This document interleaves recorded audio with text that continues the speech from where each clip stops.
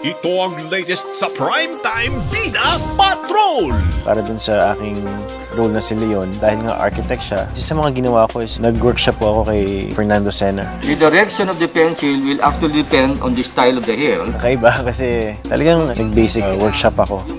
Sketching, drawing, umabot dun yung, yung preparation. Abangan ang iba pang updates ng A Beautiful Affair sa Primetime Bida Patrol!